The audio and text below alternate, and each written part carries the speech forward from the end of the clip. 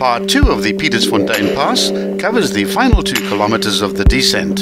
If you intend driving this pass, it's important to watch Part 1 first, which contains the Google Earth orientation clips as well as other important information pertaining to safety, historical and technical.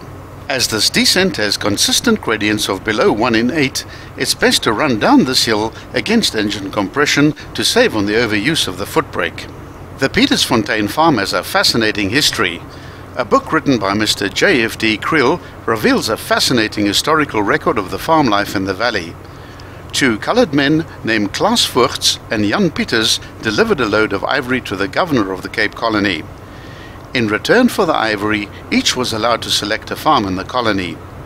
Klaas Voogts is a well-known name by modern standards, and his friend Jan Pieters found a farm with a strong freshwater spring, which was promptly named Pietersfontein.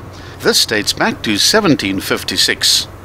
Once you've reached the end of the pass at the crossing of the Pietersfontein River, you have the choice of retracing your route back to the R318 the way that you arrived, or you can return via the Patatsfontein Pass if you're in a 4x4.